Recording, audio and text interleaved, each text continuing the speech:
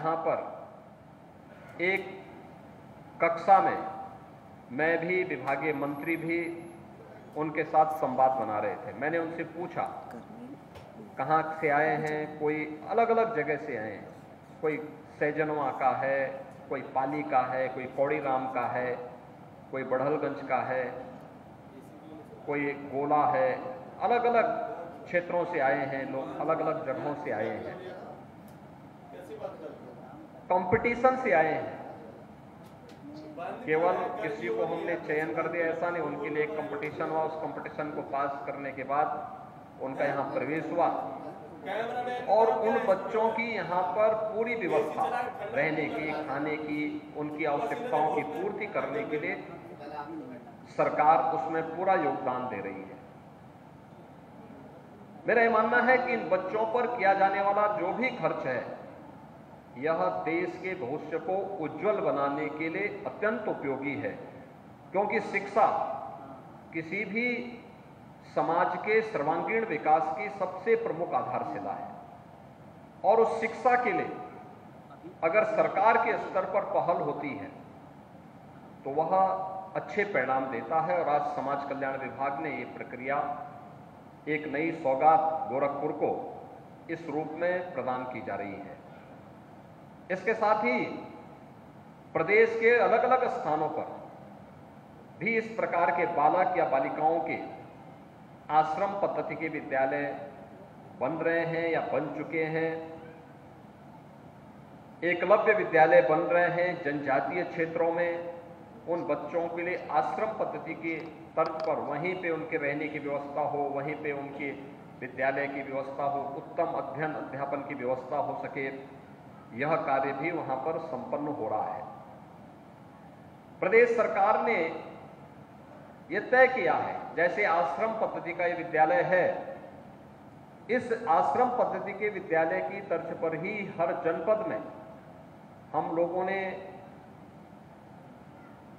CM composite विद्यालय के निर्माण की प्रक्रिया को और मुख्यमंत्री अभ्युदय विद्यालय के निर्माण की कार्रवाई को तेज़ी के साथ आगे बढ़ाया है।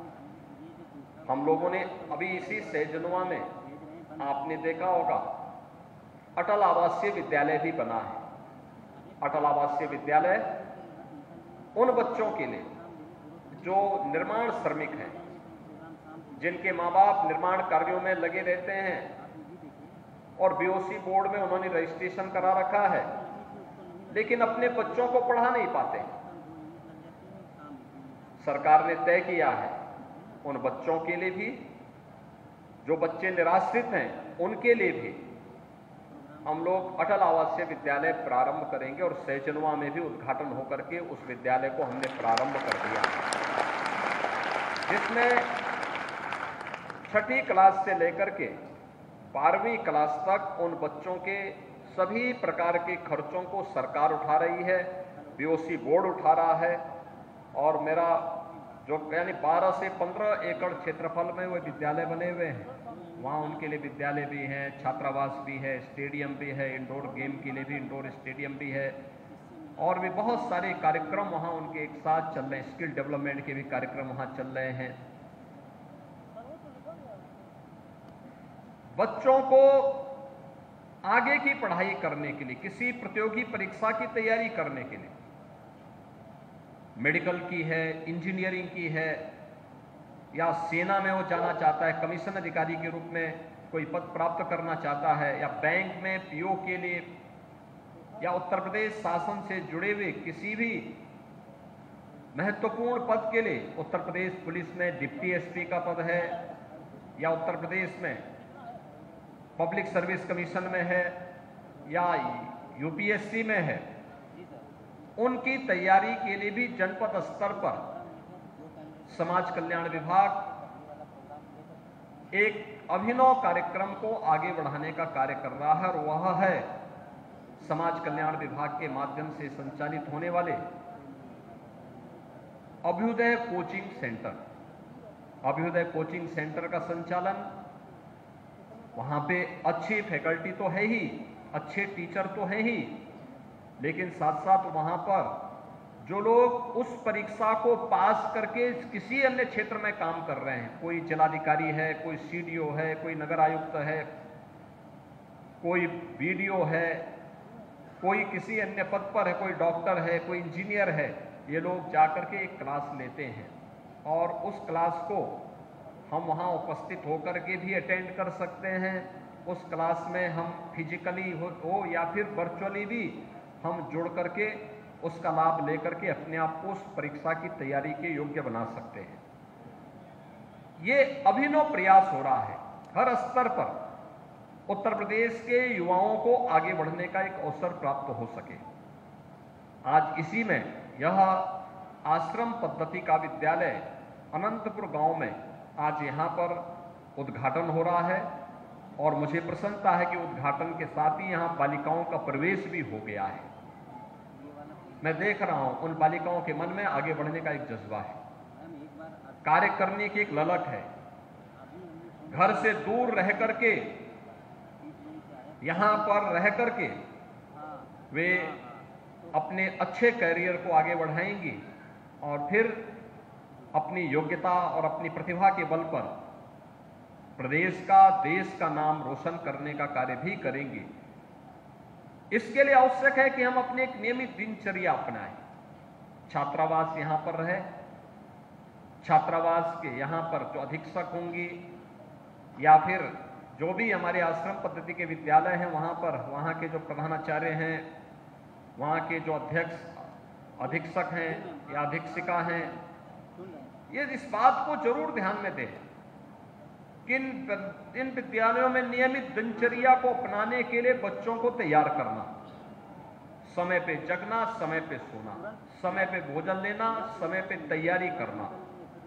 पढ़ाई के साथ साथ खेलकूद की गतिविधियों में भी और तमाम अन्य ऐसी एक्टिविटीज़ को, वृक्षारोपण का कार्यक्रम है, सेवा के विभिन्न प्रकल्पों के साथ जुड़ना इन सभी कार्यक्रमों के साथ साथ स्किल डेवलपमेंट के लिए भी अपने आप को तैयार करना। हो सकता है किसी में कोई हुनर है, दबी भी हुनर है, पता ही नहीं, लेकिन वह व्यक्ति की रुचि है।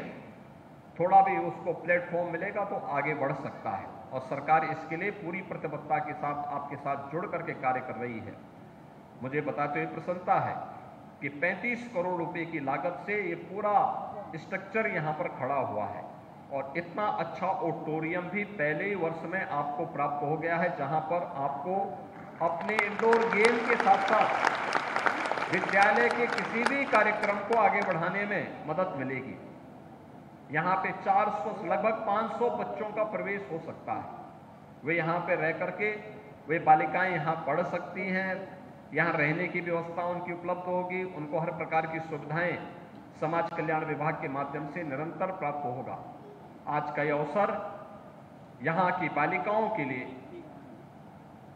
सहजनवा की बालिकाओं के लिए, गोरखपुर की बालिकाओं के लिए, पूर्वांचल की बालिकाओं के लिए अत्यंत महत्वपूर्ण अवसर है कि जब इस प्रकार के आश्रम पद्धति के विद्यालय में उन्हें प्रवेश लेने और आगे बढ़ने का अवसर प्राप्त हो रहा है, इस अवसर पर मैं यहाँ के विधायक को, यहाँ के जनप्रतिनिधियों को, यहाँ के अभिभावकों को यहाँ के अन्य सभी उन परिवार के, उन परिवार से जुड़े हुए जितने भी सदस्यगण हैं, उन सबको हृदय से बधाई देता हूँ और इस विद्यालय विद्यालय अपना इन बच्चों के माध्यम से नाम आगे बढ़ा सके।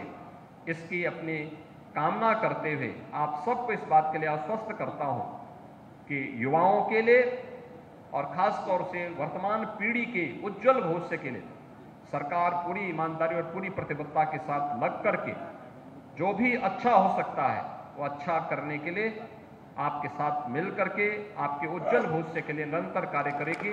आप सबके प्रति मेरी मंगल में शुभकामनाएँ हैं। धन्यवाद। जय हिंद। विद्यालय का लोकार्पण करने के लिए वो पहुँची। जयप्रकाश नारायण, सर्वोदय विद्यालय का ये लोकार्पण। और ऐसे में कई तरह की बातें मुख्यमंत्री योगी आदित्यनाथ ने कही हैं। जयप्रकाश नारायण, सर्वोदय विद्यालय का लोकार्पण किया। उन्होंने कहा कि हर स्तर पर शिक्षा को मज़बूत किया जा रहा है। किसी भी छात्र को कहीं भटकने की कोई ज़रूरत नहीं है।